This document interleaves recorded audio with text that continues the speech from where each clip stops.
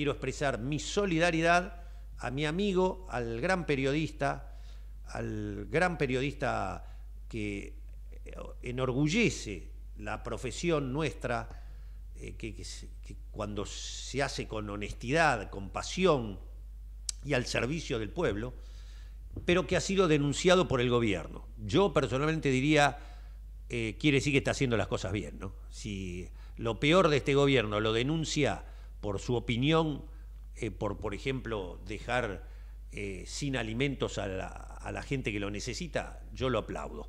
Darío Villarroel, ¿cómo le va? Jorge Chamorro lo saluda. Hola Jorgito, un abrazo grande, un saludo a toda tu audiencia que es importante. Muchas gracias por la solidaridad. Sí, este año estamos de parabienes, ¿no? Salimos de una, entramos en otra, pero como dijiste vos, eh, eh, muy bien definiste el rol de, en mi caso, de periodista, ya que estamos a un día del Día del Periodista, y siempre al servicio del pueblo, ¿no? No sé si hay muchos periodistas que se sientan que trabajan para el pueblo, yo siento que trabajo y ejerzo mi profesión para el pueblo con dignidad, con pasión, con honestidad intelectual, siempre de buena fe y nunca tratando de hacer daño con mi opinión, sino todo lo contrario. Así que por eso, aquí estamos en la lucha, eh, el contexto de lo que vos decís, ¿no?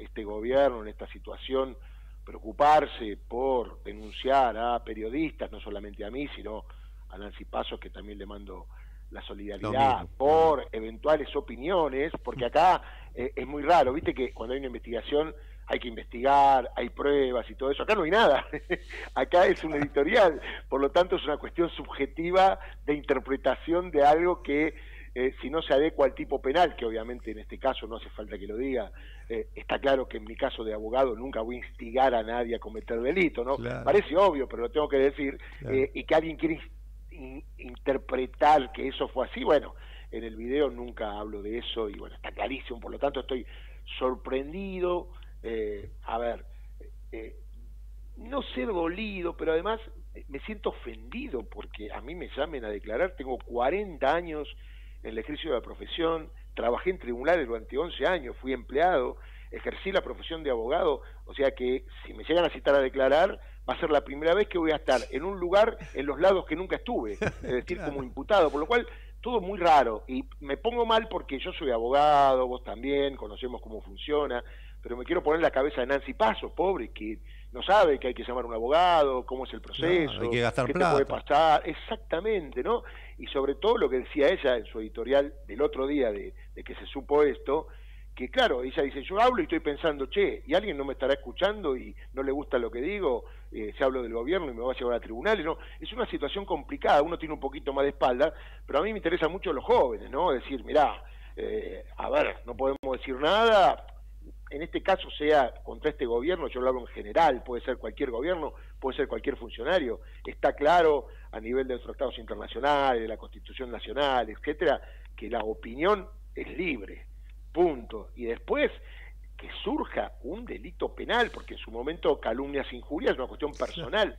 Acá no hay ninguna cuestión personal, acá es como que un periodista de 40 años que es abogado, teóricamente, para alguien que está en el gobierno, instiga a cometer delitos, es una locura. Claro, cuando se abra la causa prueba, el juez va a decir, bueno, traigan las pruebas, no, es el video nada más, es lo que dice él nada más. Exactamente, es como una locura, ¿no? Además vos sabés que el delito de instigación a cometer delito yo no sé si va a haber muchas causas que han llegado a instancia de un juicio oral o a una condena, ¿no? Porque ¿cómo establas que alguien le dice a otro, hace tal cosa, eh, supongamos que yo hubiera dicho eso, que no lo dije, y el tipo dice, sí, yo vengo acá porque Chamorro me dijo que haga tal cosa. Es muy complicado, son delitos de forma que tienen otro fin, no tienen un fin de perseguir a la gente, está claro, ¿no?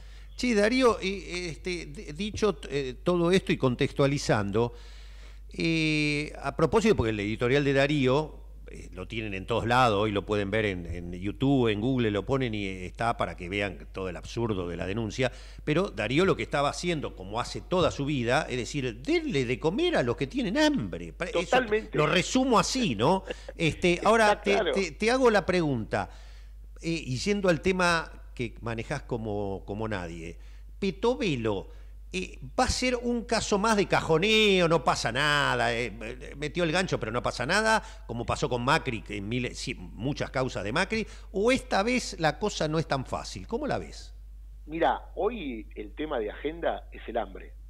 ¿Estamos de acuerdo? Sí. El hambre. Ayer se mostró en la catedral cómo iba gente a Sí. comer. Esto no pasó nunca. Sí. Eh, todos los gobiernos, de alguna manera directa o indirectamente, desde Alfonsín con la copa de leche, atendieron el hambre. ¿Estamos de acuerdo? ¿Te acordás las cajas pan? Las cajas PAN, y inclusive hasta Mauricio Macri, doblegó la cantidad de planes. Con lo tanto, aumentó los planes para que la gente no pase hambre, más allá de sus políticas mm, macroeconómicas. Eh, digo, lo que pasa es que si vos sos abogado como yo, lees el fallo de ayer, es contundente y durísimo. Yo nunca vi un fallo contra Macri tan contundente y tan duro, porque de eso no se vuelve. Es decir, hay un juez, Eduardo Fara, que le dice, tiene 24 horas para decirnos cómo va a distribuir los alimentos. Y esto no meterme en la política económica o en la política de Estado, porque yo no le digo si está bien o no lo que va a hacer, yo le digo que distribuya los alimentos y que tres jueces de la causa hablen de la problemática social y el hambre que padece hoy miles de argentinos, yo nunca lo vi en un fallo. Es decir, los jueces extendieron su postura jurídica a lo que es lo social y uno de los jueces, el doctor Aldo Fara, dice voy a hablar lisa y llanamente para que la gente entienda lo que pasó acá.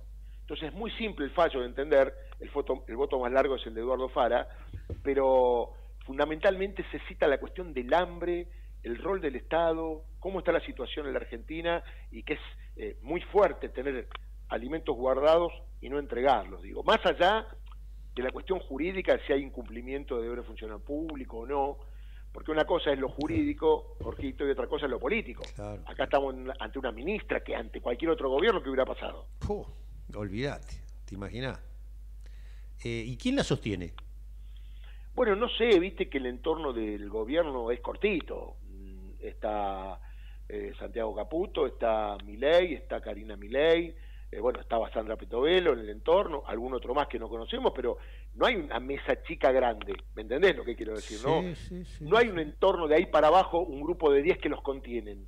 No hay mucho más. No, no. Y además, muchos dicen que la forma de ser de, de Milei es como que si está mucho tiempo con él, viste, como que a la larga algunos se van, se alejan, porque tiene un ritmo desaforado a la hora de, de andar de acá para allá y haciendo cosas. Entonces, me parece a mí que eh, no creo que la corran definitivamente, pero uno supone que eh, eventualmente una licencia, que no le hace mal a nadie, baja los decibeles eh, y eventualmente colocarla en otro lugar. Se hablaba que le iban a poner la oficina anticorrupción, con lo cual justo ella que dijo que iba a denunciar los hechos de la oficina anticorrupción, teóricamente la van a poner en la oficina anticorrupción. Además, complicado, bueno, yo creo, y vos lo decís todos los días, yo te veo tus redes sociales, ¿no? Que cómo es tu tweet, lo podés decir porque nunca lo decís.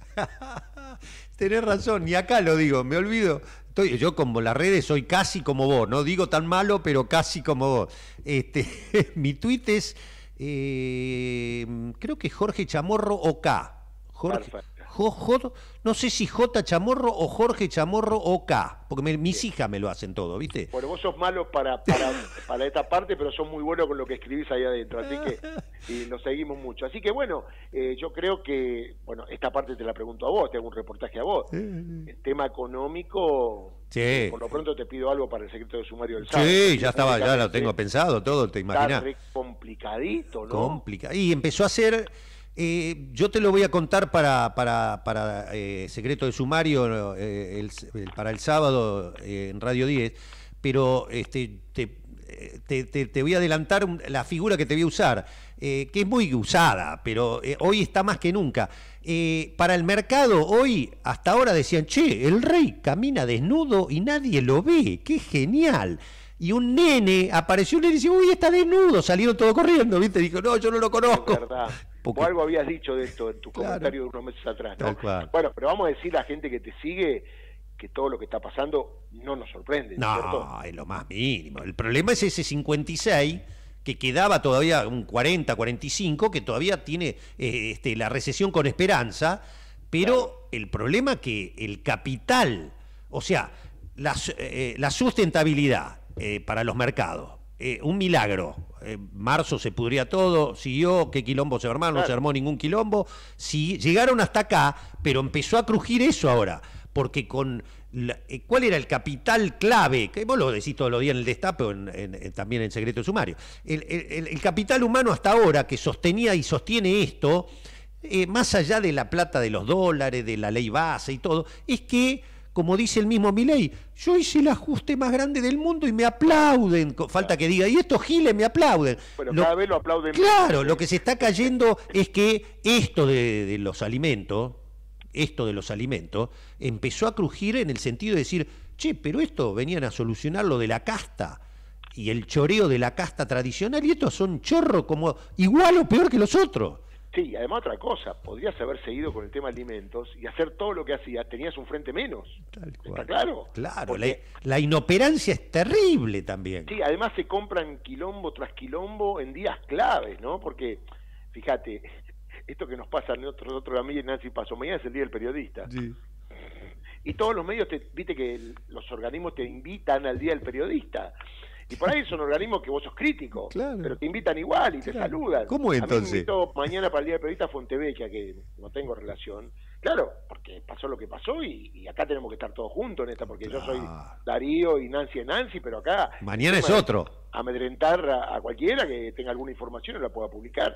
Y lo peor, la opinión, porque la opinión es libre, punto. ¿Qué estamos haciendo? Entonces, no, te quería decir que vos hablas del tema económico.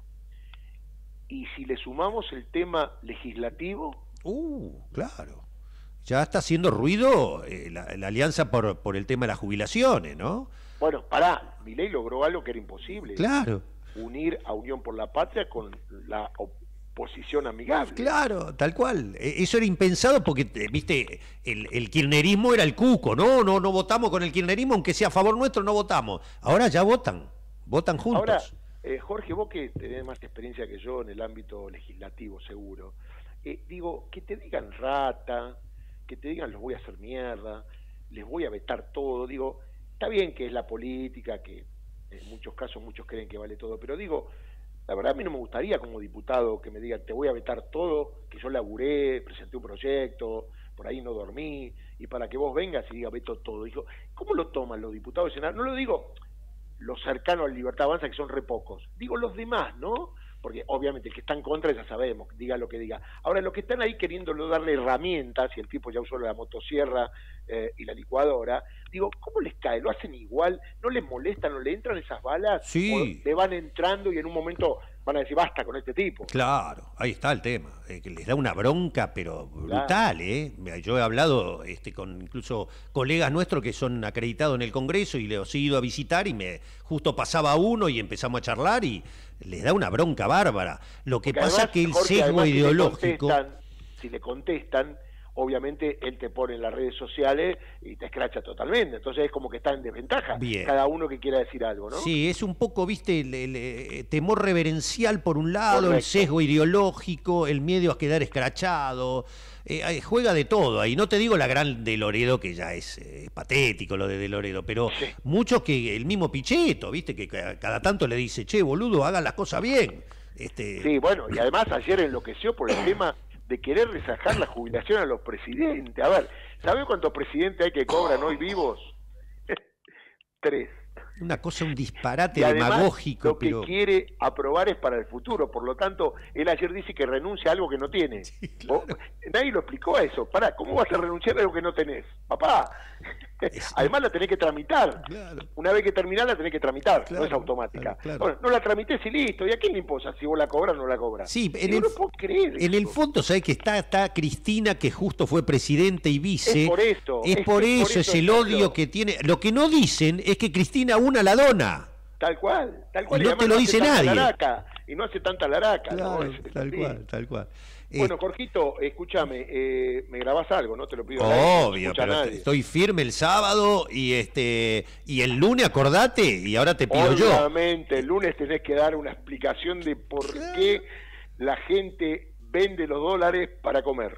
Sí, pero yo quiero que vos el lunes vos vas a tener el aula magna, el número uno de la Universidad Nacional de La Matanza, van a estar todos los alumnos que ya están conmovidos quieren, van a estar ahí presentes para escucharte a vos también, ¿eh? La ligaste justo, aunque sea una cosa jodida, la ligaste justo. Sí, sos el número famoso ahora. Y no, no, yo te digo, hablo de la noche, lo del Lalo. Pasó el chivo acá, pero la noche estás invitado también. Lo del Lalo hacemos, bueno, un festival lo del Lalo. Lo, lo del Lalo Ah, ya está, es, es nuestra casa, Bueno, ¿no? después hablamos el fin de. ah, le digo a la gente que hablamos como si estuviéramos hablando en privado, para que me pases a buscar, me digas dónde pasas a Sí, buscar, el, y vamos el- para allá. el lunes yo te paso a buscar y nos vamos para la universidad y a la noche hacemos lo del Lalo.